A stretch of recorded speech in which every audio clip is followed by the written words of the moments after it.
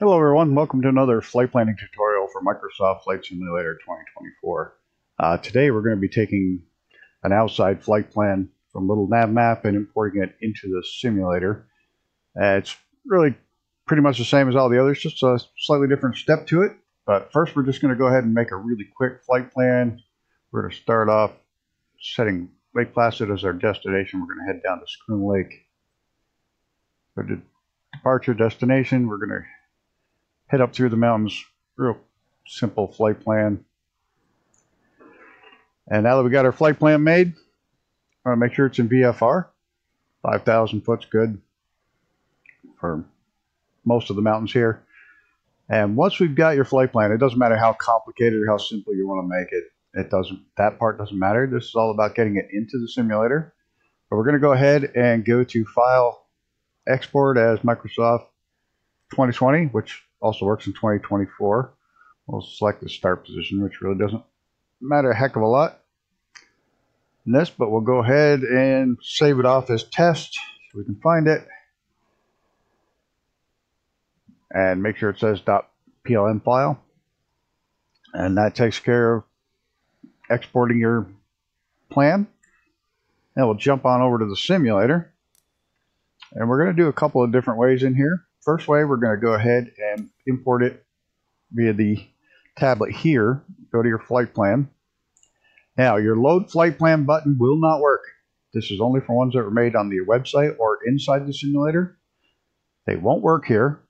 So we go down to load save PLN file. So anything you make outside the simulator in a PLN file, or somebody sends you one, this is where you're going to load it.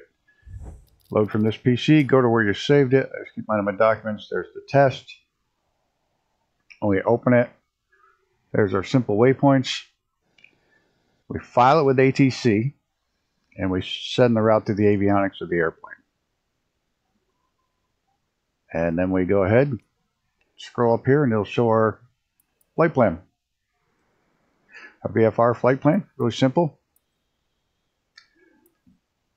You can label as VFR, everything's all set, and you go ahead and fly. And it'll all be there for you.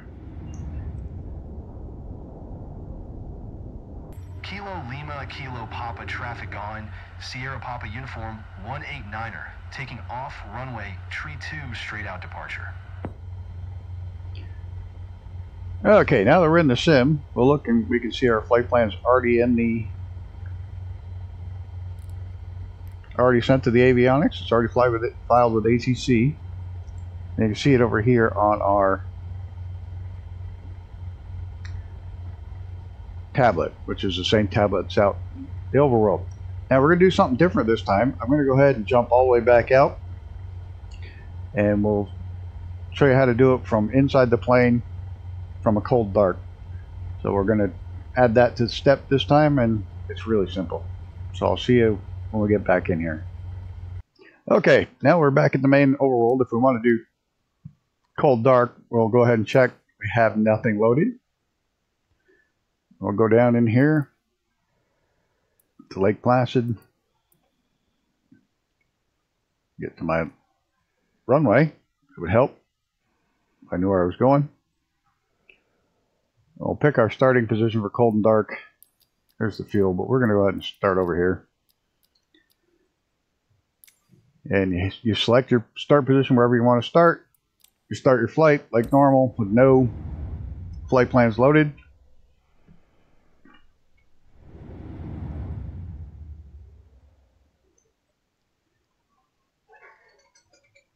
And we'll go ahead and run through the, we'll even do the fun stuff of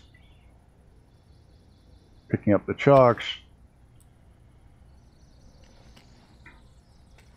get everything ready for flight, take that off, take that off, get in the plane. now we're in the plane, we're just going to cheat and do the control E. I want to show you from cold and dark that we can how to load the flight plans from in the plane.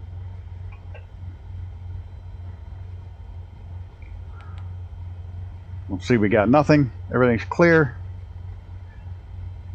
Now we just roll over to our, zoom in on our tablet here.